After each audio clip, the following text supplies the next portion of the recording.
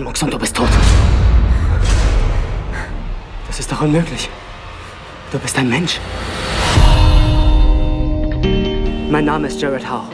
Ich habe schon seit zwei Jahren mit keinem anderen Menschen gesprochen. Melanie, Strider. Das ist der Anfang einer Liebesgeschichte. Eigentlich nichts Ungewöhnliches, abgesehen von einer Tatsache. Wir befinden uns in der Zukunft. Die Menschheit ist so gut wie ausgestorben.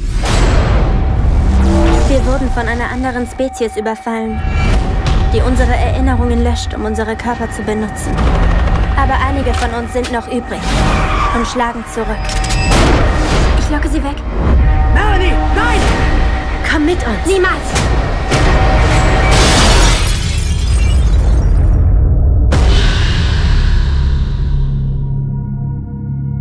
Fast alle Knochen sind gebrochen, die Organe gerissen.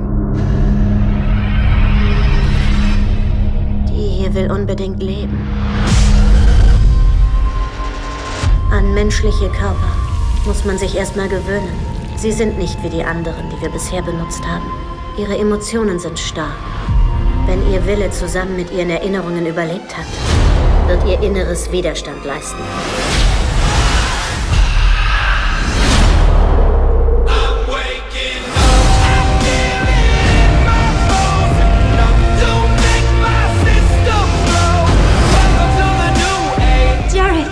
Ist kein Mensch. Sollen wir aufhören, wie Menschen zu leben? Alles an ihr vermisse ich. Ich tue alles, um sie zurückzubekommen. Ich muss es wissen. Ist das noch Melanie?